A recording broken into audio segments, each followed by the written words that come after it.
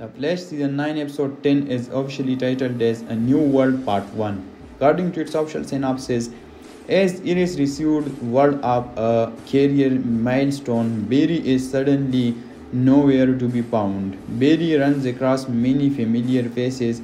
Khione continues to figure out uh, her powers. Chester works on a suit for Allegra. This episode will be releasing on 3rd of May 2023 next week only on the CW.